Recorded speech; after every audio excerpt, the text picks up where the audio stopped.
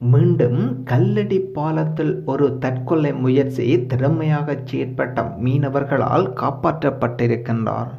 வாருங்கள் இது தொடர்பான தகவல் ஒன்றை இன்று எஃப்னா தமிழ் டிவியினூடாக என்று பார்ப்போம்.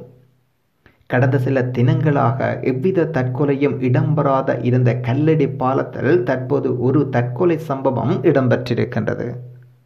இந்த சம்பவத்தினால் அந்த பகுதியில் பெரும் பதட்ட நிலைமை உருவாகி இருக்கின்றது. இன்று மாலை அந்த பகுதியில் நடமாடிய ஒருவர் திடீரென கல்லடி பாலத்தில் நின்று கடலுக்குள் பாய்ந்திருக்கின்றார்.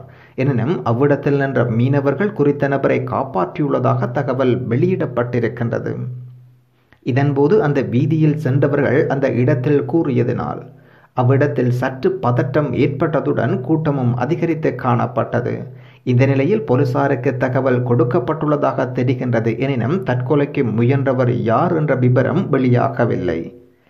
இதேவேளை குறித்த பாலத்திலிருந்து அண்மை நாட்களாக ஒரே பாணியில் தற்கொலை முயற்சிகள் செய்து வருகின்றமை குறிப்பிடத்தக்கது என்று நாங்கள் பார்த்த விடையும் மீண்டும் கல்லடி பாலத்தில் ஒரு தற்கொலை முயற்சி திறமையாக செயற்பட்ட மீனவர்களால் அது முறியடிக்கப்பட்டிருக்கின்றது தொடர்பான தகவல் ஒன்றை இன்று எஃப்னா தமிழ் டிவியினூடாக இன்று பார்த்திருந்தோம். நன்றி.